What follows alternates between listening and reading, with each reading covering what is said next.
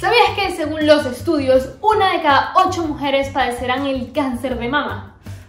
Para que nos hagamos una idea de la importancia del asunto, en España se diagnostican más de 33.000 casos y en México más de 23.000 a mujeres entre 35 y 80 años.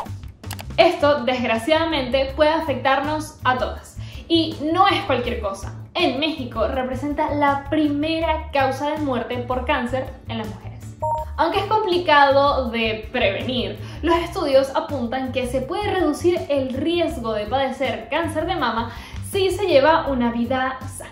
Algunos de los consejos que dan es hacer ejercicio, comer balanceado y por supuesto autoexplorarse. Así que, viendo eso, queremos proponeros una forma de cuidarnos. Pero antes, recuerda suscribirte a nuestro canal y activa la campanita de notificaciones para no perderte nada. Y también recuerda seguirnos en Instagram, que estamos ahí casi cada día. Pregunta para ti, para que pienses. ¿Cuánto tiempo le dedicas a tus pechos? Sí, ¿cuánto tiempo le dedicas haciéndoles mimos, tocándolos, mirándolos? ¿Poco? ¿Mucho? ¿Y qué tanto los conoces? Su textura, su forma, sus colores.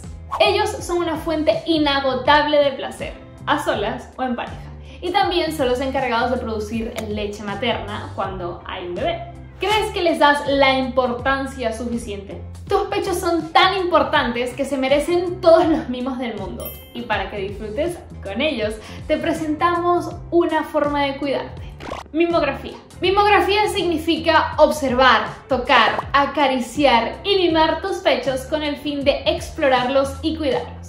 Sentirte bien con tu cuerpo pasa por querer cada parte de él. ¿Sabías que hay tantos tipos de pechos como personas que los tienen?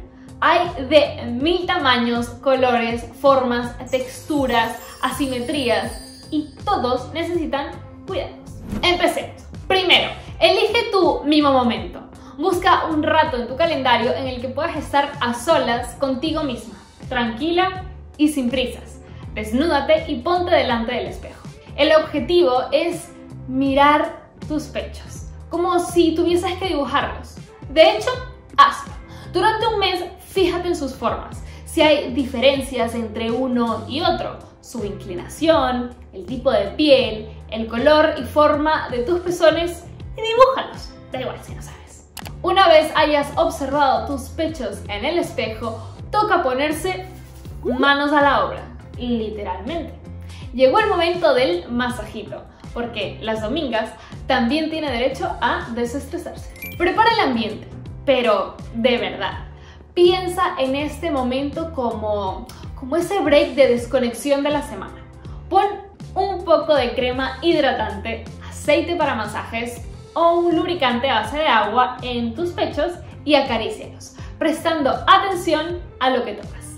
Puedes empezar acariciando con tu dedo índice y corazón el escote y recibiendo los pechos suavemente. No te olvides de las areolas y los pezones. Acarícialos en círculos, uno por uno, en ocho, de arriba abajo, en zigzag.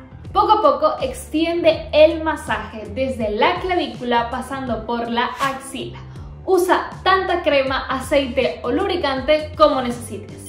Poco a poco ejerce diferentes presiones. Cógelos con las manos y muévelos. Conocernos, tocarnos y cuidarnos promueve la autoestima y nos ayuda a estar atentas a cambios en nuestro cuerpo. Y recuerda, la mimografía va de la mano con un chequeo anual con tu ginecólogo de confianza, porque vale la pena que una vez al año quien revise tus domingas sea alguien con bata.